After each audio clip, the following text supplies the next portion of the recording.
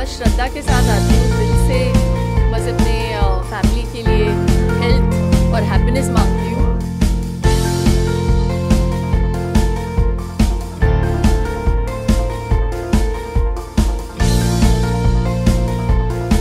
For more Bollywood updates, subscribe now to youtube.com slash TV.